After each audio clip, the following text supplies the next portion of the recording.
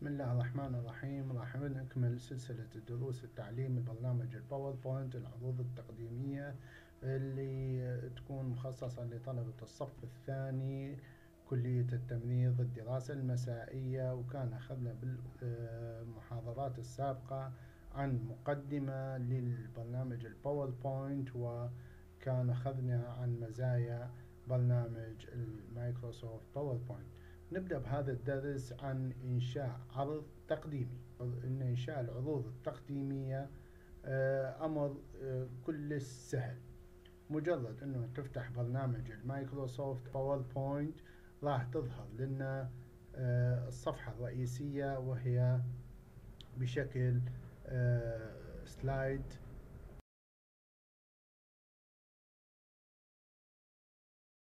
يجب أن يكون لك هدف أو فكرة تقوم بتوضيحها أثناء العرض التقديمي.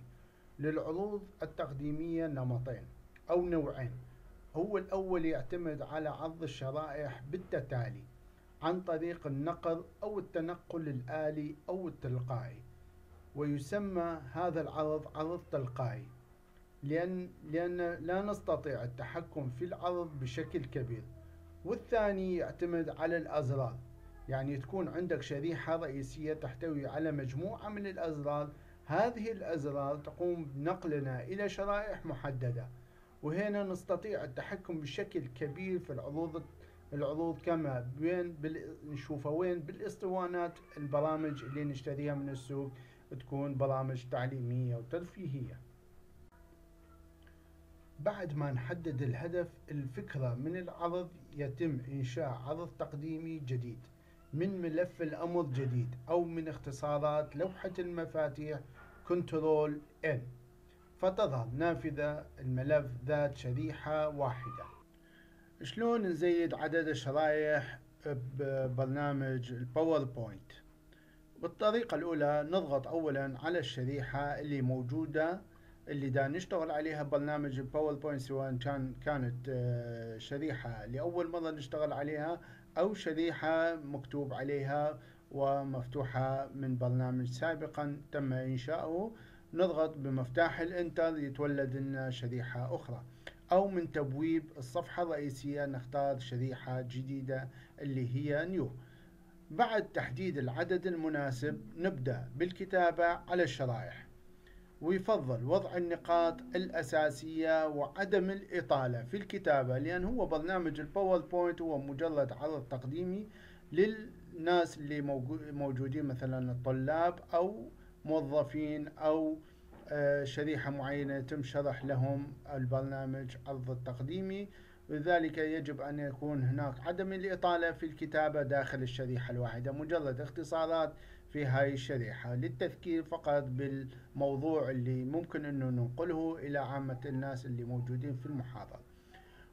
أو وفي حالة الرغبة في الإطالة يجب استخدام عدد كبير من الشرائح. يعني إذا إحنا نريد نطول آه، بالكلام ونطول وقت المحاضرة التقديم نزيد عدد الشرائح حتى نزيد بتفاصيل الموضوع اللي إحنا بصدد الشرح له.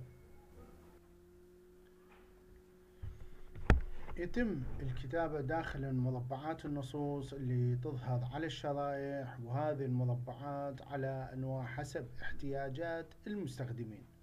ويمكن تغيير عدد ونمط المربعات من الأمر تخطيط يعني نروح إلى الأمر تخطيط اللي موجود في آه، شريط التبويبات اللي مجموعات نضغط على السهم تظهر لنا نافذة ممكن إنه نزيد أنواع الشرائح اللي موجودة أو نختار شكل الستايل للشريحة اللي موجودة. من تبويب الصفحة الرئيسية يمكن تغيير خلفية الشرائح. من التبويب تصميم نختار الأمر أنماط ثم الخلفية نضغط بزر يطلع لنا أنماط اللي عليها ال icon كأنه سطر آه، مليء بالصبغ. تظهر نافذة تنسيق الخلية في جزء التعبئة نختار تعبئة خالصة أو تعبئة ثم نختار اللون المناسب من ألوان التعبئة. نلاحظ أن الأوامر في برنامج ال PowerPoint تعتبر نفس الأوامر اللي موجودة في برنامج ال Word عليه نستخدم نفس الطريقة في تنفيذ الأوامر. عند الرغبة بتعبئة الشفافية بصورة نختار الأمر تعبئة صورة أو مادة.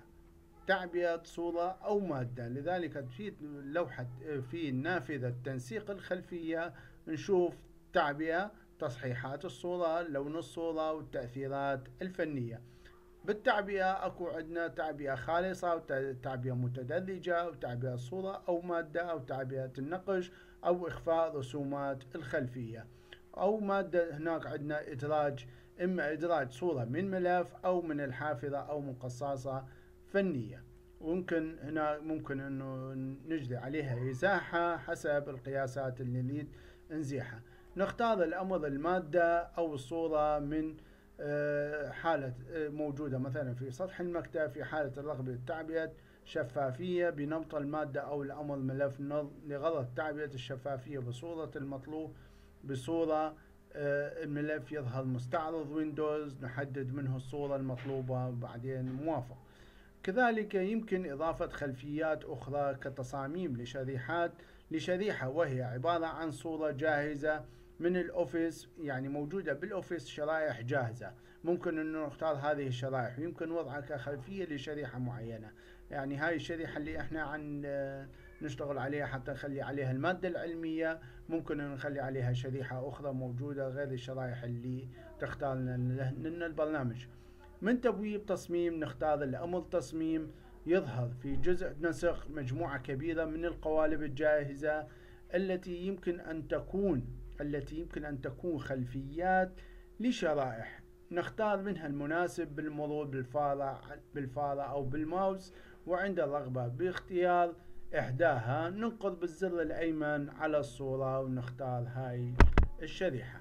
تظهر لنا قائمة منسدلة نختار منها إما تطبيق. على الشرائح المتطابقة أو المحددة يتم تطبيق هاي الخلفية على الشرائح المحددة فقط. يعني عندنا شريحة إحنا حددناها ونريد نغير الخلفية منها. نختار تطبيق تطبيق على الشرائح المحددة. أما الأمر تطبيق على كافة الشرائح يتم التطبيق على الشرائح كافة. يعني نختار هذا الأمر بحيث أن عندنا مثلا 15 شريحة تطبق هاي الأمر أو تغيير الخلفية للشريحة. لجميع الشرائح اللي موجودة عندنا في برنامج PowerPoint اللي إحنا عم نشتغل عليها بالمادة العلمية. يجب أن ننتبه إلى أن مجموعة الأوامر اللي واردة في برنامج ال Word يمكن تنفيذها أيضا في برنامج PowerPoint بالإضافة إلى إمكانية إدراج أصوات وأفلام للعرض. يعني نجيب أصوات ممكن نخليها في الشرايح أو أو مقاطع فيديو نخليها بالشرايح حتى نزيد من فعالية المادة اللي إحنا دا نعرضها عن طريق التبويب إدراج. نذهب وين نروح؟ الجزء وسائط ثم نختار الأمر صوت أو فيديو.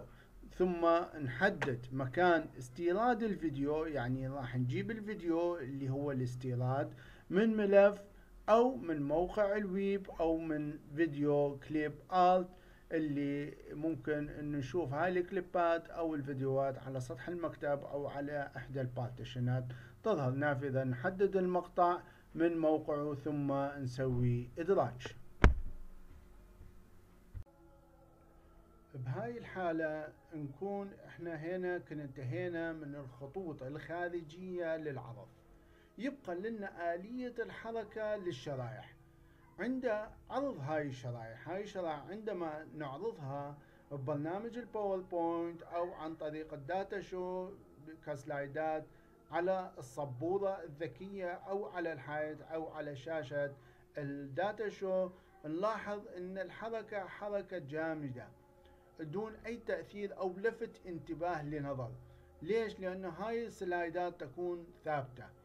بس لكن هنا راح ممكن إنه نخلي بعض التأثيرات والحركات على الشرائط تكون الحركة مصاحبة للنقد بالزر الأيسر للفارة أو بالضغط على مفتاح الأنتر. أو السهم لأسفل أو أعلى. عليه يجب أن نهتم بنوع الحركة للشرائح. وهذا ممكن إنه نتناوله إن شاء الله بالدرس القادم شلون نزيد نضيف تأثيرات على الشرائح ونخلي نوع من الحماس أو المتابعة لهذه الشرائح من الأشخاص الحاضرين لمتابعة هذه المادة العلمية وشكرا Thank you.